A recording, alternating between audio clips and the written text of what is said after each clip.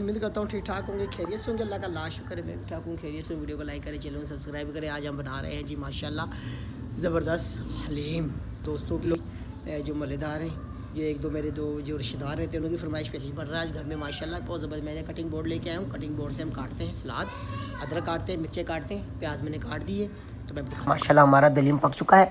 हमने इसमें रेशा करके डाल दी है। आज हमारा दिल भी खुद भी दिल कर रहा था दलीम खाने को। हमारे रिश्तेदार को दिल कर रहा था दलीम खाने को। मेरा दिल कर रहा था मैं कहा छोटा दलीम पकाते हैं खुद भी खाते हैं, रोज़ेदार को भी खिलाते हैं, स्वाब को मारते बरीक बरीक प्याज काट ली है तो इस तरीके से मैं प्याज प्याज भी काटा है मैंने इसी तरीके से। तो मैं सब्ज़ मिर्ची भी काट रहा हूँ।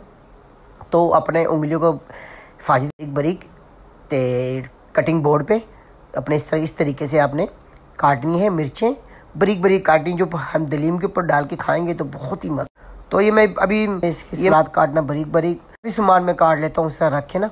तो मैं इसमें ये अदरक दिखाता हूँ आपको आपने अदरक किस तरीके से काटना है। इस तरीके से पहले आपने इसकी लंबी लंबी आप लोगों ने बरीक बरीक बिल्कुल इस तरह आपने अदरक इस तरीके से काटना है। ये देखिए छुरी इसके लिए तेज़ होनी चाहिए।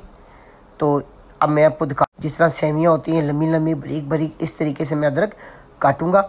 तो ये भी ऊपर हम दलीम के ऊपर डाल के खाएँगे तो बड़ा मज़ा आएगा मिर्चें, प्याज और अदरक। ये दलीम का हिस्सा है, नींबू, एक नींबू भी है, वो भी दलीम का हिस्सा है। तो ये ज़बरदस्त, ये देखते हैं जी विवस तो मैं अब किस तरह काट रहा हूँ, बरीक बरीक अदरक और माशाल्लाह, इसमें ख़तरा भी होता है आपकी उंगली ना कट जाए। तो एहतियात से काटना। ये देखिए जी, माशाल्लाह हमारा दलीम हो चुका है तैयार। ये देखिए माशाल्लाह माशाल्लाह जी। तो बहुत ही ज़बरदस्त हमारा दलीम पका है। तो जो रोज़ेदार हैं, वो खाएँगे दुआमा देंगे। तो तो हम लोग इसमें उबले हुए चावल नहीं ले पकाएँगे। तो मेरा दिल कर रहा था इसमें नान ले आने को। तो व्यूज़ में जाने लगा हूँ। रिश्तेदार के घर, मालूम है हमने दे दिए सात घर में पड़ोसों में। तो जाने लगे हैं, बच्चे मेरे साथ हैं। तो चलते हैं। आप ही बेटा बच्चे मेरे साथ हैं, हम जाने लगे रिश्तेदार के घर।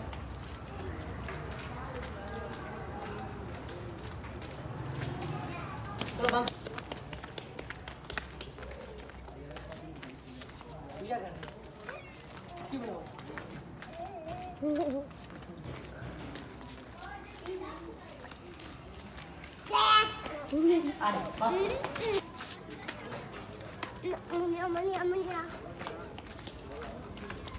हेलो हम लोग आ गए हैं।